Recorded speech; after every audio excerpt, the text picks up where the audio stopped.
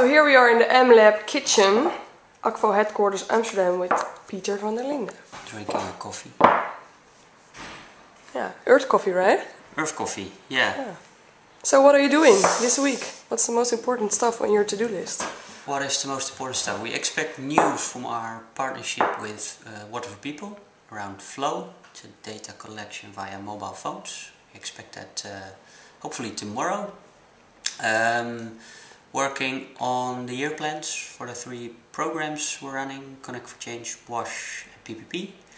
And particularly looking at how we can value um, the services we provide to our partners. So we're thinking about key indicators for our work and a monitoring protocol uh, that we also can display that in our website.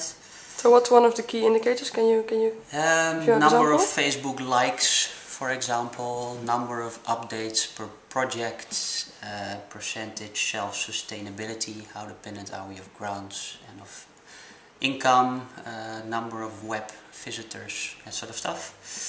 Um, and working on new partnerships. Mars, chocolates. It's always Nice. nice when you're drinking coffee. Yeah.